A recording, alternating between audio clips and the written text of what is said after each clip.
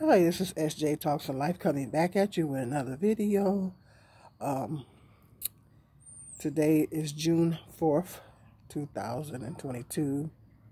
The video I did before this one was also June the 4th, and I stated the wrong date. so, they're going to be back to back. So, um, there was, we had, we've had another mass shooting.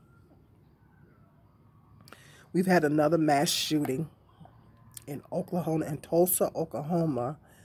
Um, this man shot, went to a medical center and shot four people, including himself. I think he killed himself. He shot four people in the medical office, and then he shot himself.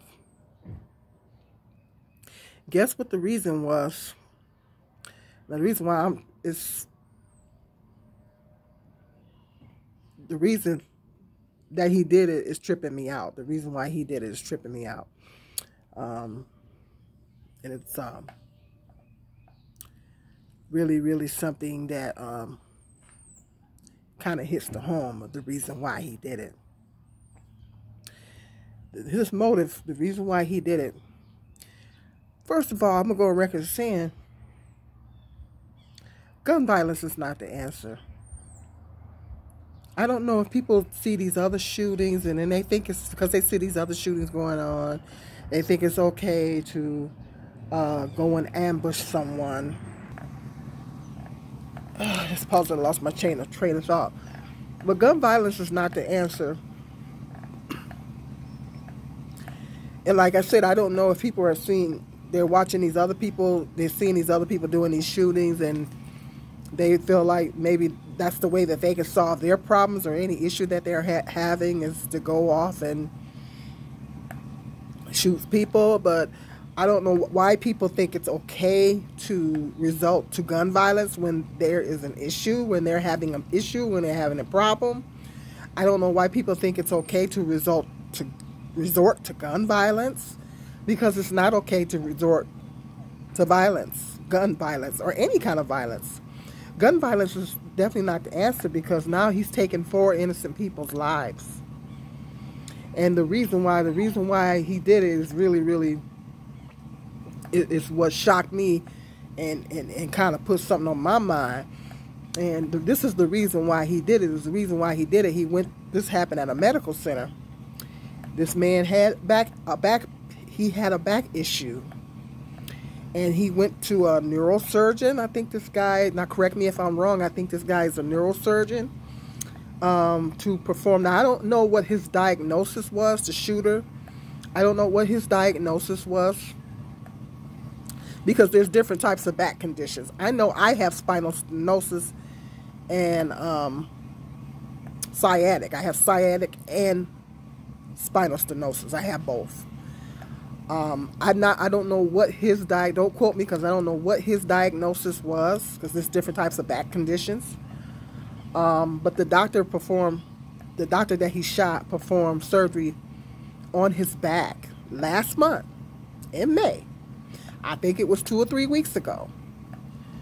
Well, after after back surgery, now I haven't had back surgery, but um, after any kind of surgery, it takes at least six weeks for the incision and all that stuff to heal. That's six weeks just for the incision and all that stuff to heal. Okay? But sometimes it takes additional time with a situation with your back. They say it take longer than that. Okay. So, um, it was, he only had the surgery like three weeks ago and he was still dealing with some pain in his back. And i don't know what he expected. I don't know if he expected for the doctor to perform a miracle. I don't know if he expected for the doctor to perform a miracle. I don't know what he expected. But um, you're not going to get any miracles after three weeks. But he was still allegedly uh, he was still experiencing a lot of pain. and I think I think men, I think us women have a higher pain tolerance. I think men have a lower pain tolerance. Is that they can't take pain. You know, it's hard for very difficult for men to endure pain. Um, but I think men do have a lower pain tolerance than women. But the back pain is no joke. Back pain is no joke. Um, and um, I know that from my my experiences. And um, like I said, the pain. I guess he was still dealing with some pain. And um, when you're dealing with back issues, when you're dealing with back issues, um, you know, uh, as I said in my video, my other video, uh, my health update. If you haven't had a chance to check out that video, go check it out. I was talking about how when you're having um, back issues and things like that, it can cause you to be depressed. And he was probably dealing with all the emotions, depression, and all the emotions and stuff um, that comes along with that. And um, and we don't know how long he was enduring all this before he had the surgery. But I heard a lot of people say that the surgery don't work. That's what I heard and that's why I'm not trying to I'm not trying to I'm not so quick to jump up and let these doctors cut on my back because I've heard a lot of people and even I, have been reading some of the blogs where they're talking about this situation and a lot of the people are in the blogs are saying that they had the sur- they've had back surgery and it didn't work. And um, I've, I'm hear a lot of cases where people have back surgeries and it, it either didn't work or it was worse so the surgery is like a hit and miss. Back surgery is like a hit and miss. And, and it, you know, they do whatever they can to try to relieve your issue, but it's no guarantee that it's really going to do anything for you.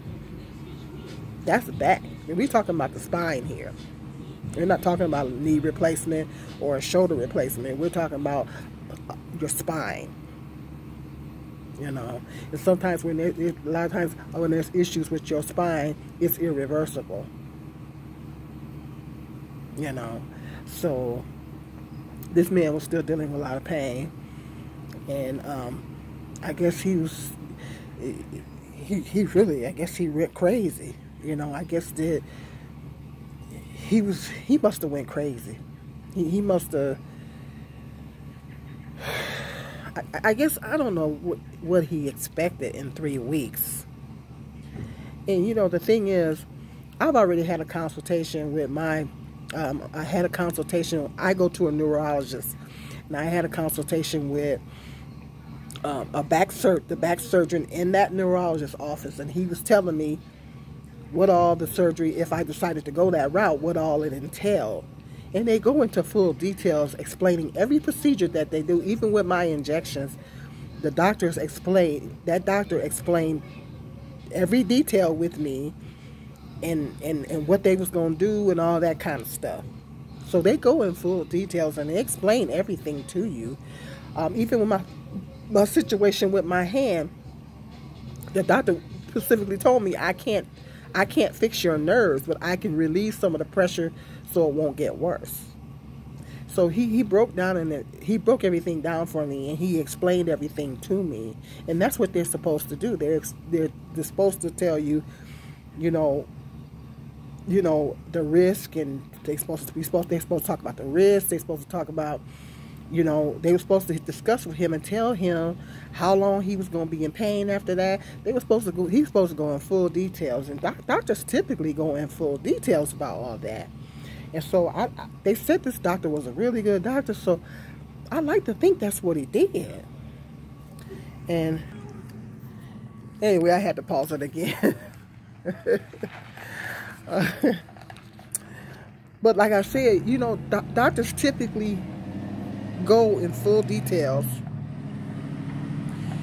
They're supposed to tell you everything that the surgery entails, your risk, and um, whether it's going to work or not, if it does, whatever, whatever. They're supposed to go into all that. So they said this doctor that he, he killed was a very good doctor. And I, I would like to think that that's what the man did.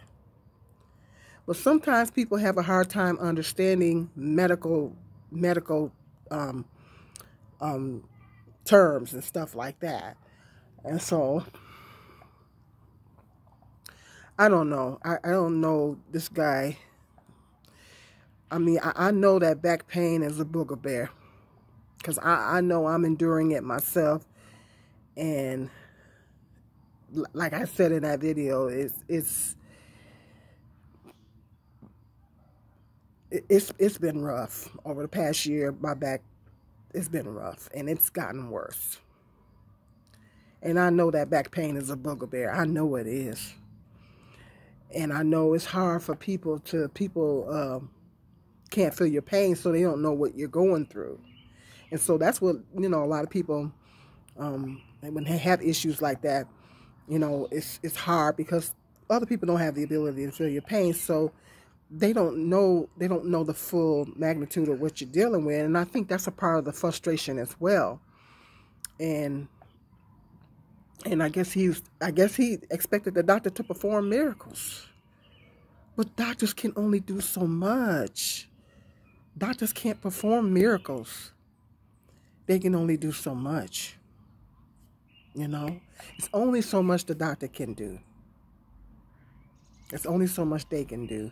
It's like when that injection didn't work, I didn't go get mad at the doctor.